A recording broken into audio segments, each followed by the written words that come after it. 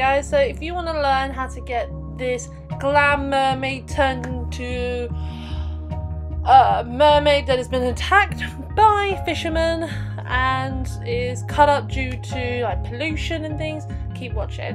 I'm first priming and putting on my foundation. I use the Kat Von D primer and the MAC Face and Body foundation. I'm just going to be buffering that all over just to give my skin a little bit of an even base to work with. As you can see, I'm rocking a few spots because being a girl can be a bitch. I'm now using the Fenty concealer just to cover up some under eye bags because our mermaid at the beginning, she's beautiful, like the typical classic perfect look. But I didn't want to go for something like the Little Mermaid. I wanted to go for an actual like fish mermaid, hence her being all blue. You could turn that into the Corpse Bride if you wanted to, but I decided to go Mermaid. I'm now using my Laura Mercier translucent powder just to set my base like you would any other day on any other normal makeup look. Just using the Beauty Bakery brush and putting it all over my face. And I think I need more powder. Yes, I do. Get the powder. There we go. Now I'm baking under my eyes just again to stop any kind of creasing, even though it always creases. By the way guys, while I'm doing this, I want to apologise for it going in and out of focus. I'm trying to get my camera sorted and this is new. So yeah, I'm now using a contour brush that I'm not sticking up my nose and the Jeffree Star Jawbreaker palette with the darker green shade and the light blue shade. I'll leave details in the description box to start contouring. I'm not gonna lie guys, when I did this look, wasn't the way I thought it was gonna go. I thought I was gonna do the pretty look, but the fish look in the end I think turned out to be freaking awesome. So as you can see, the powder wasn't starting to work very much, so I ended up using my kind of dupe of the Flash palette. I used the green, the light blue shade, just to start contouring, and this is when it starts to get more fishy and interesting. I then decided on one side I just wanted a darker colour than the other, so that didn't work out. I'm now just blending it out. I want her to look very very thin, very shaped and almost skeletal, but at the same time not, because remember, she is a mythical creature. So, you know, the, the way it gotta be. I'm just now adding some more darker. Sorry, guys, that's my drink. I'm now turning some dark blue onto the um, other side, so it's actually even. And keep going, keep going, keep going. I'm now just adding it onto my forehead so it's all like the areas I would typically contour because I feel like I have a big ass forehead. And for some reason I decided to put a little bit on my nose. Why the hell not? I'm now taking this fishnet kind of wig cap. You can get these from any party store or anytime you pretty much order a wig, these normally come with them. I'm taking the dark blue shade from that that cream palette and a sponge wedge that you can get from any um, drugstore or cosmetic store and I'm using that to start creating my scales. I'm not gonna lie guys, again I'm apologising for the focus issues, I will get this sorted. This was a pain in the butt to do. I would recommend if you can't, if it's an awkward position, maybe get somebody to help you. Me, I was doing this at 11 o'clock at night when people in my house were already asleep. So I just started doing the darker scales first and working my way on. And on the other side of the sponge, I took the light blue and... Come on, Nat. That's it, you got enough blue. Uh, and I started to kind of give the light and dark effect to her scale. So I did a light blue and dark blue kind of scaling all the way through. And yes, Natalie, well done, you created scales! Now I look like a cat burglar or some sort of weird kind of fetish monster, I don't know. But I'm taking a tiny little Morphe brush, brush, brush. This is a concealer brush and I pretty much use this brush the whole way through because it ended up giving me the most defined scale. So I would just wipe away the dark, go over the light, back and forth, back and forth. As you can see what I'm doing here. I did have to keep going over to get the definition in those scales because sometimes when you have the fishnet over your head like that, it would tend to muddle them a little bit. I'm now taking that lighter one again and I'm going on the tops of my cheekbones again just to create that definition like you would with a highlighter. And I'm examining my scale some more. Well done that. I now decided to put it back over my head. This is where I started to find it tricky, by the way, guys. Like I said, if you were to do this, you can grab one of those wig caps. I would suggest maybe cutting it into pieces, and then that way you can do it, because then you won't get the model scales that I started to get at the first. And yes, I'm trying to figure out my camera. Guys, please leave recommendations for cameras. I'm now taking a MAC Pro Longwear paint pot in a dark blue shade to do my eyebrows. Just filling my eyebrows in like I normally would, but with blue. And I'm not gonna lie, I kind of like the blue brow look. This is definitely going to be the start to my Halloween collection this year, guys, and I'm so excited for it, by the way. Who else is excited for Halloween? And, by the way, guys, if you see me singing and dancing, I was listening to The Little Mermaid while doing this work, so... Kind of... it explains a lot about everything on this. So yes, Natalie, get the brows on point. Let's move, move on that. Oh, Oh, by the way, guys, if you see me blinking a lot, I put green contacts in. They don't look that green because they're two-tone and I have brown eyes. So it almost made me look like a lizard, which kind of works with the whole fish thing. Even though lizards are reptiles and fish are fish. I'm now taking that dark blue, um, sorry, I'm taking that dark blue um, paint on my chin and I'm just starting to fill out the whole face with it and see where I can go with it. I decided in the end, actually I don't want to do that, I'm going to do my eyes. I'm taking Jeffree Star Blue Blood palette in the shade Celebrity Skin, which is the tan shade. And I'm putting that all in my crease for a transition. I ended up using concealer for my primer, but for some reason my camera didn't pick it up. So, there you go. I'm now taking the dark green shade on the end. I can, again, I can't remember, but I will be leaving the info in the... Oh, hello. Let's go to my eyeball. I will be leaving the info in the description box. I'm taking that dark green shade. This was a prominent colour in this look because I didn't want to do completely blue. I wanted some shades of green in there to break up the blue. So I'm taking this dark green kind of teal shade and I'm putting that all in my crease and really feathering it out. She's not meant to look neat and tidy, smoky eye, you know. She's glam she's you know, a, a fish. So let's um, make it look very avant-garde and um, big. So with a Morphe blending brush, I am just blending that all through my crease and around. And for some reason, it starts to look really patchy in the beginning, which I didn't understand because the Jeffree Star shadows never let me down. I'm taking that, sorry guys, I've got the hiccups. I'm taking that dark blue purple shade and I'm putting that in the outer corner and working it in the kind of finer bit of my crease and right in the crease. So it works more as a crease colour and the green ended up being more of a transition shade.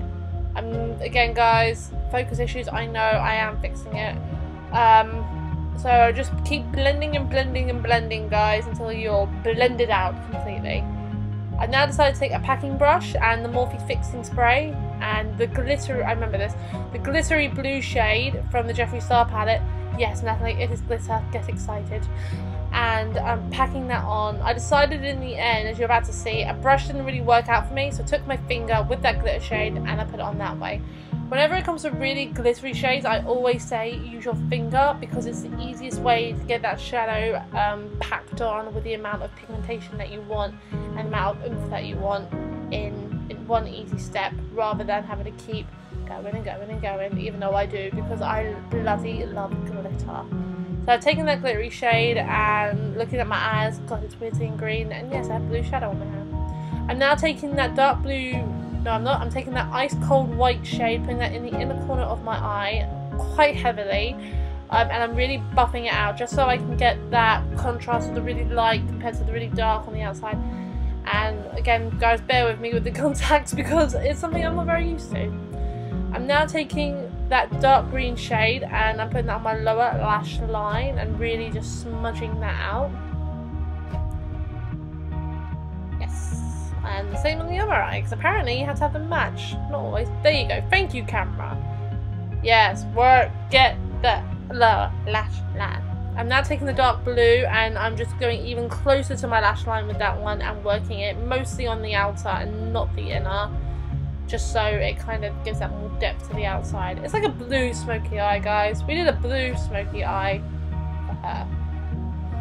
And I'm going back to the face because I decided, right, I'm done mostly with the eyes. Let's go back to the face. I'm now taking that dark blue cream that Morphe brush. Again, guys, details in the description.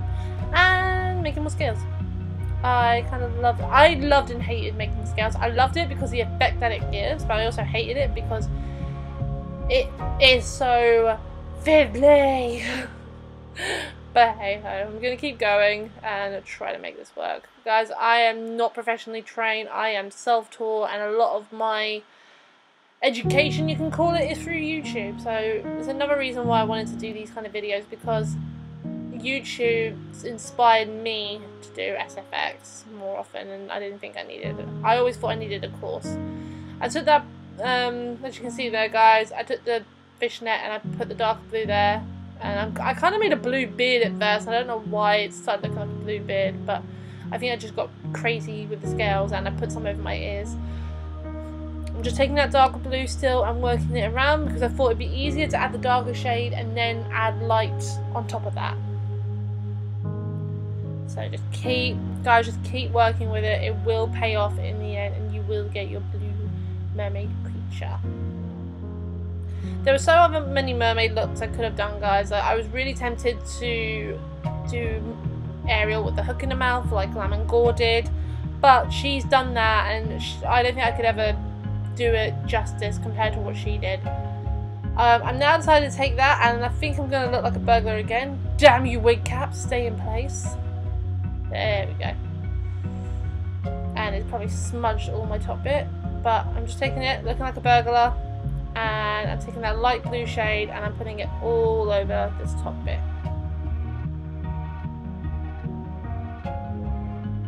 Just keep adding scales, guys. Just keep adding your scales. You just kind of have to mess around with the um, scale, the uh, fishnet for the scales. And I just kept adding more and more light blue just to keep that contrast going. And I add the dark blue again for my forehead because I feel the wig cap pretty much moved all that out of the way.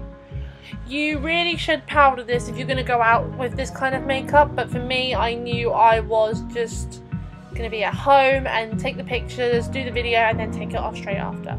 Because I think at this point, it was about half 11, quarter 12, and I started this at half 9, 10 o'clock. So I'm just adding the light bit on the lower jaw just so I can add the um, contrast of, you know, like a contour. That's the word, contour. And a big old bit of the light blue on my chin. Add some light blue on my lower, on my upper, la upper lash line, upper lid, uh, upper lid, upper lip, and on my nose. Just keep adding those blue contrasts, guys, and it will turn out, I promise.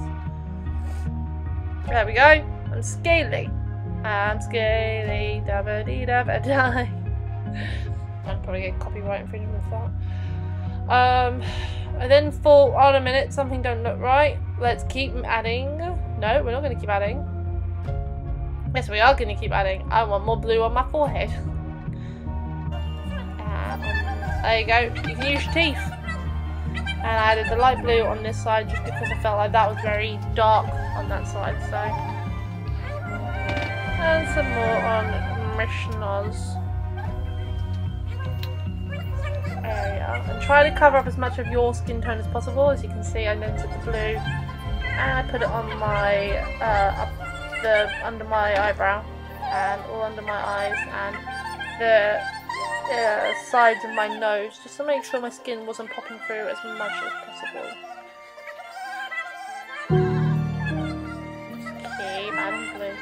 Felt like a genie for a while. I was like, if I just turn myself into the genie from Aladdin with scales. And as you can see, for me, I wasn't happy that it was just on my face, so I kept going, putting it on my neck. This was again awkward, guys, but I feel like the wig cap does help a little bit. It's just that thick line that you can get. But with the wig cap, you can obviously put it around your neck, and that helps you make some scales quite a bit easier.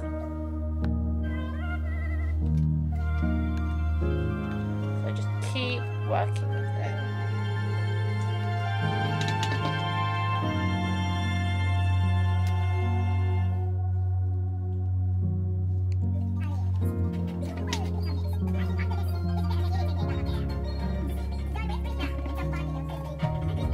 I'm now taking the light blue and I'm just popping that in the centre of my neck, again just to create that contour effect.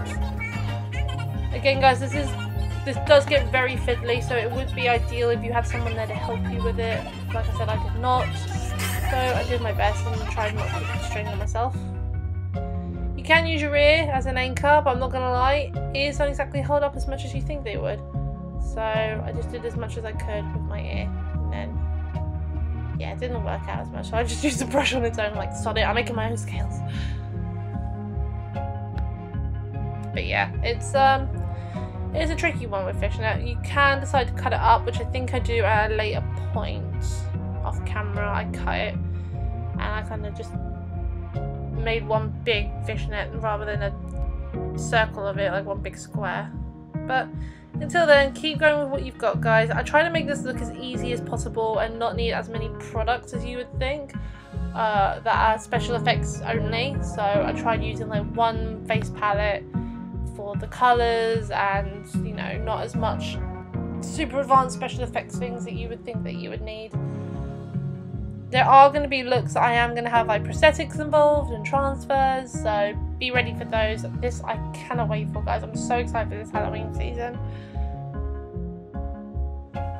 I now take a Jeffree Star liquid lip. This is from the uh, Rainbow collection. Uh, this is, I think, Royal. I'm Royalty, the purple.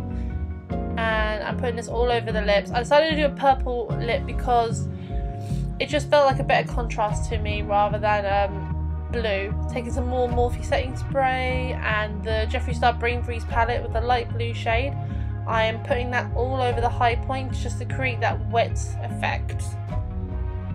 You know, she's a mermaid. She's in water 100% of the time, I want to say. Unless she's like Ariel and goes to the surface. So yeah, just add it where you normally would add highlight, guys. Um, for some reason, I did have a bit with liner and lashes, but it's gone. But I did a, just a normal light wing liner, um, mascara, and I added pink to the lip. I'm now just adding this white glitter that you saw all over because I thought the sparkle of water kind of effect. So I'm just taking that all over the lids and on the bridge of the nose, the lips, and the high points of the face and on my forehead.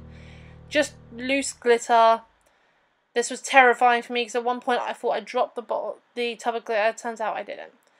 I decided to change my top and put my wig on. This wig on is from Amazon. I think everybody owns this purple wig. Um, and I decided to just paint my chest a little bit more. And this is when I cut up the wig cap because I was like, sod this, I can't do anymore. This again, guys, is so finicky and I will repeat myself. Just get somebody to help you. It's so much easier to have someone's help but I'm just painting some more scales on my chest because I thought I would actually have it down to the chest kind of area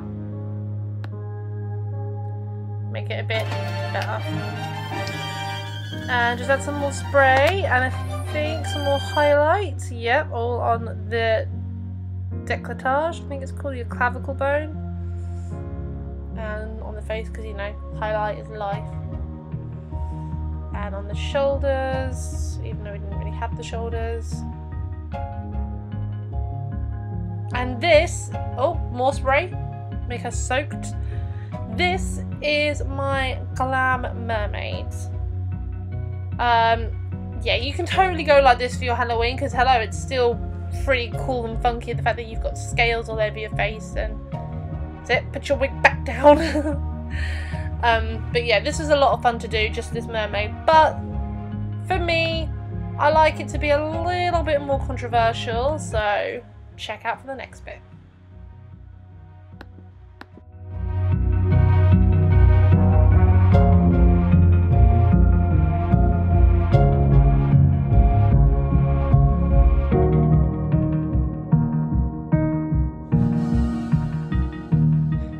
Guys, so if you are still with us, we are now doing the um, aftermath of an attack for the mermaid. Now, this attack can be in any way, shape, or form for your story.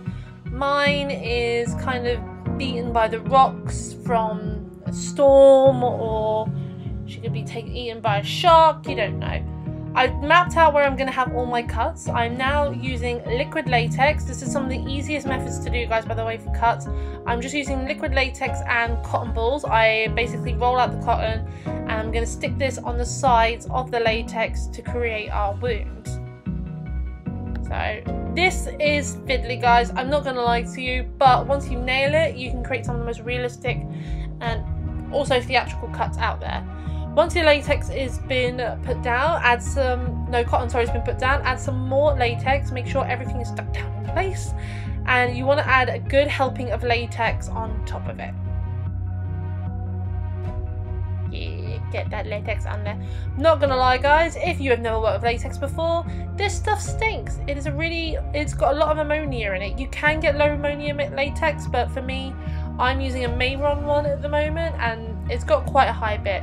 Ones that you would find in party shops and um, like Superdrug and Boots when they have their Halloween collection, they do have very high ammonia. So I would try to find either Mehrons, it's not too high, uh, Kryolan, Ben Nye, uh, there's loads that you can find otherwise. I'm just going to keep adding that cotton and latex to create my wounds all over where I've made my scars. And look, all of a sudden I'm picking at it. So what you want to do, the end of a brush or a scalpel, if you've got one, not scalpel, um, yeah, kind of like a scalpel, you kind of want to just create, in that almost dry bit, the wounds holes. So once you've done that, and you've done all your liquid latex and cotton, I'm just going to start painting it. I'm painting it blue. So the reason I'm painting it dark blue is because I want to kind of create a shadowing and the you know the darkness from her coming out because mermaids get angry guys when they're getting cut to pieces. Uh, so yeah I'm just gonna keep painting over it. I started to start I went with a brush at first that same brush I've been using but I found that it wasn't working as well. So I took a sponge wedge that you can get again from any like pharmacy store or SFX store or anywhere and then you can even get them in Poundland and I'm just painting it all blue to cover up that liquid latex. Don't worry about covering up tons because you will with blood and stuff later. I'm now adding, so once you've done that, I'm now adding the black um, from that cream paint just in the centre to create more shadow and depth to it. And I'm kind of spiking it out everywhere just to add more effect and more detail to it. You don't have to do this step, but I find it really does make it look a bit more juicy and realistic. You want to do this guys with brushes that you do not care about. I just get cheap ones from Mehron or Primark or you'll see in a moment I use a paintbrush so things like that because you don't want to use good brushes because otherwise they will get ruined because of the latex and all the paint.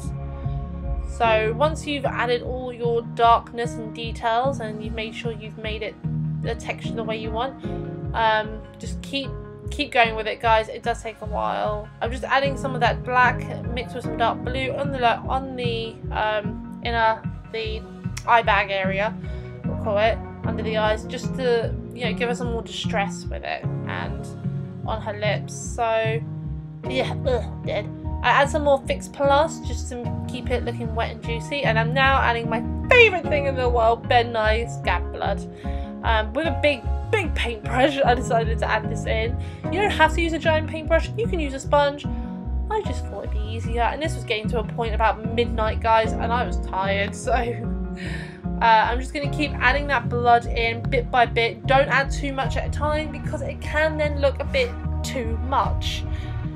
But um, yeah, I'm just going to keep adding anyway. I added, with that paintbrush, it gives you really good splotchy effect, so I just add it everywhere to kind of create you know, blood everywhere. And I'm adding some more Ben Nye juice, scab blood juice, in the wound just to make it all more juicy and fresh and gross. The good thing is with Ben Nye scab blood, it does dry down. So if you want your blood to look more dry down, it's it does look, it does do that, and so you shouldn't transfer too much. But I like it when it's fresh and juicy. Just adding bits around my lips and just so you know she's going to be cut up everywhere, guys, not just those. So I'm just adding in all the little blood details that I need to. Add some more in that big wound, which was actually my favourite one in the end. Kind of where her gills are. And I'm just going to keep keep adding blood, guys. I know I said not to add too much, but for something like this where it's so over the top, add tons. Putting some around my nose, you know, just to do a little bit more. And I've been wigged up again. And this is our attacked mermaid. Guys, I really hope you enjoyed this. Please subscribe, like the video, and um, share it, comment. I love you guys. I can't wait for you to see the season. Bye!